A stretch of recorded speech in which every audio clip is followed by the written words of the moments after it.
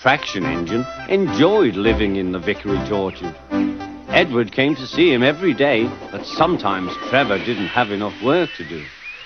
I do like to keep busy all the time, he sighed one day. And I do like company, especially children's company. Cheer up, smiled Edward.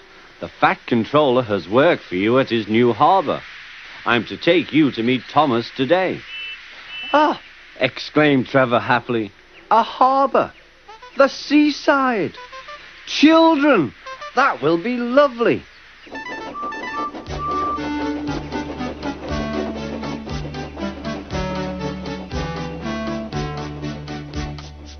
Thomas was on his way to the harbour with a trainload of metal pilings. They were needed to make the harbour wall firm and safe. Hello, Thomas, said Edward. This is Trevor, a friend of mine. He's a traction engine. Thomas eyed the newcomer doubtfully. A what engine? he asked. A traction engine, explained Trevor. I run on roads instead of rails. Can you take me to the harbour, please? The Fat Controller has a job for me. Yes, of course, replied Thomas, but he was still puzzled. Workmen coupled Trevor's truck to Thomas's train, and soon they were ready to start their journey.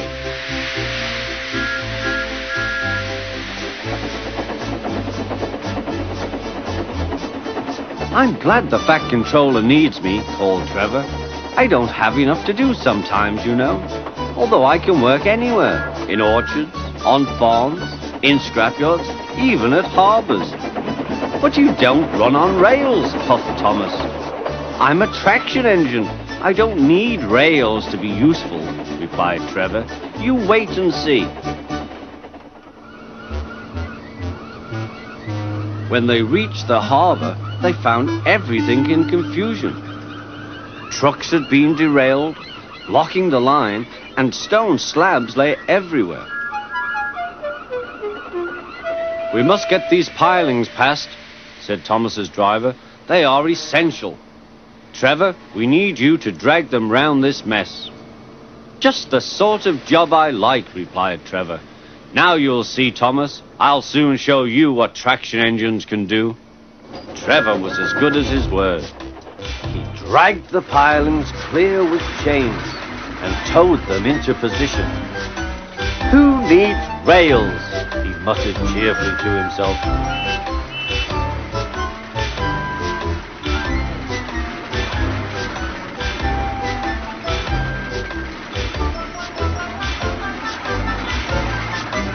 Later, Thomas brought Annie and Clarabel to visit him.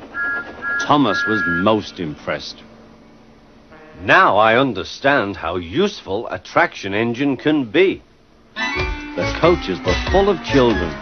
Trevor gave them rides along the harbour. He liked this best of all.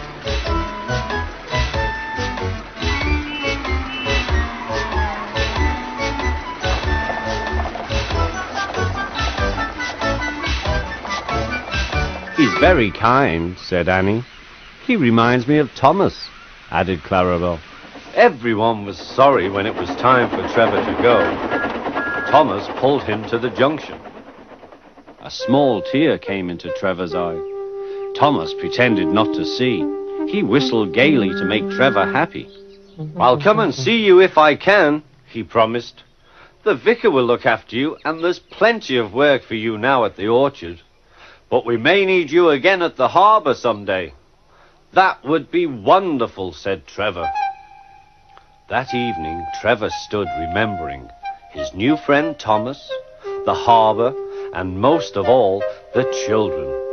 Then he went happily to sleep in the shed at the bottom of the orchard.